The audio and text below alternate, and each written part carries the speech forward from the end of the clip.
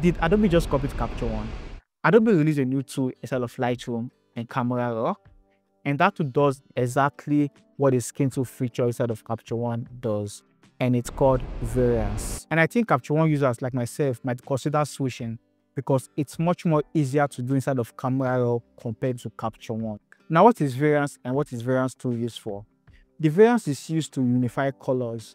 So let's say you shot an image and the color of the face is different from the color of the body.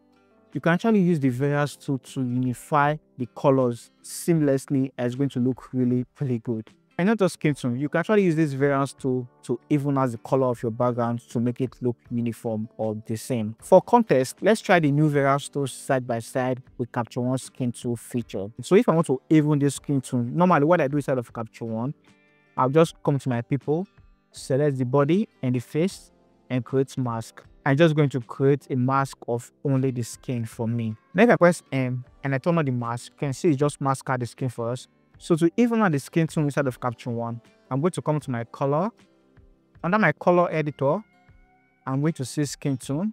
I'll select skin tone.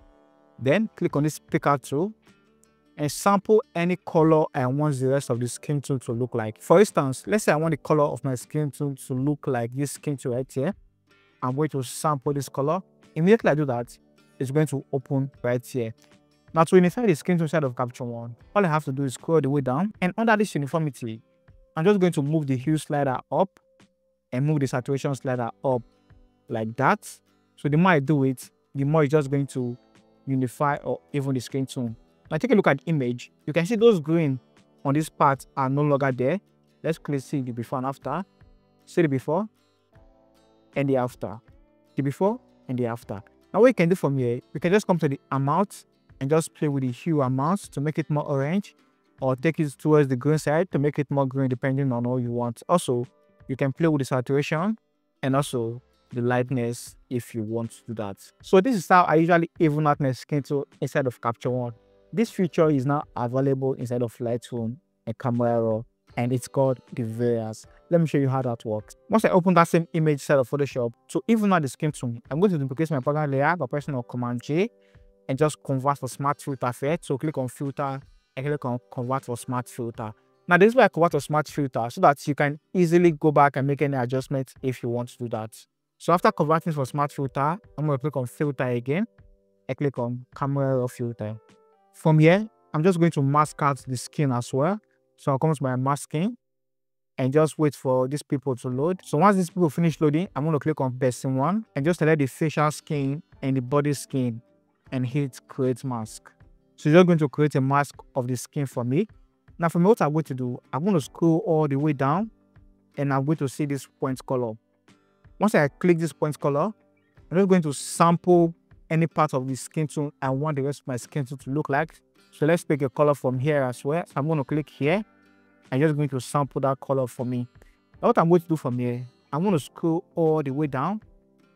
If I come to this variance, see what happens if I move the slider up.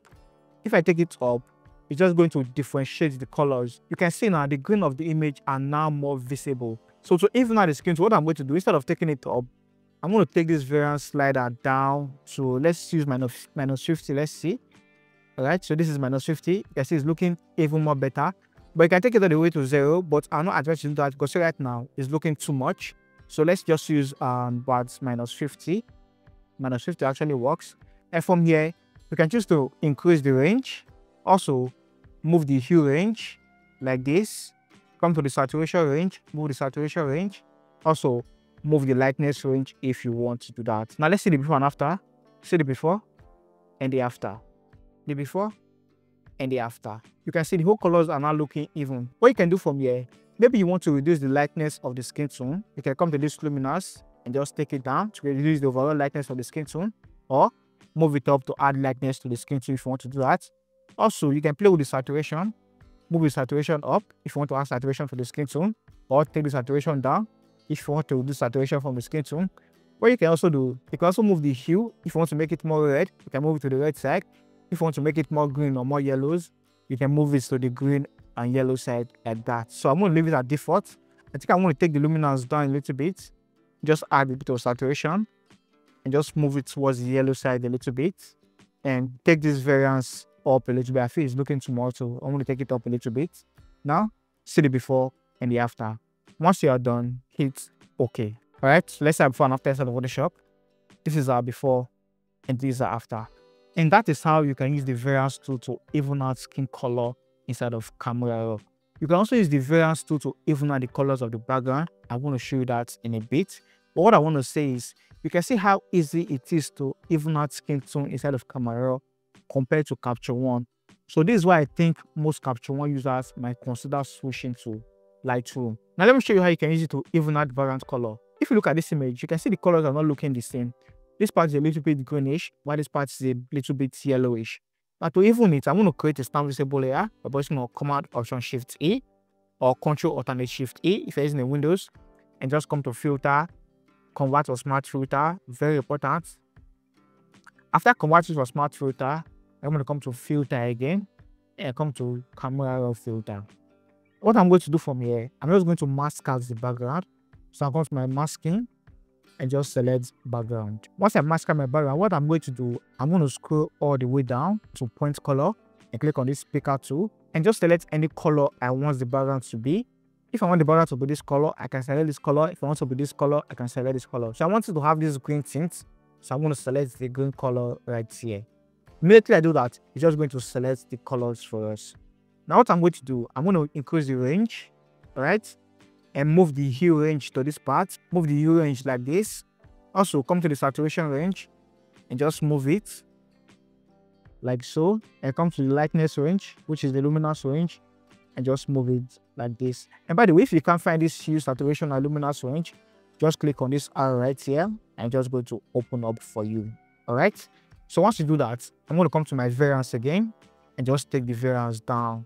And immediately I do that, you can see it's just even out the skin color and just make it look uniform for us. So if I take it up, it's just going to make it more different. And if I take it down, it's just going to unify it and just make everything look the same. All right, so see the before and the after. And from here, you can choose to reduce the lightness, which is the luminance, or increase it if you want to do that. Also, you can choose to move the saturation if you want to do that, or change the color with the hue if you want to change the color with the hue like this. But i'm going to leave it at default. I think what i'm going to do is i'm going to take the luminance down a little bit and hit okay see our before and after. Our uh, before and after. Okay this new variance feature is good news for lightroom users. Honestly the skin to feature inside of capture one was one of the main reasons i prefer capture one over lightroom there are other reasons and i made an in-depth video comparing lightroom and capture one click here to watch that video. I'll see you guys in my next one. Stay creative.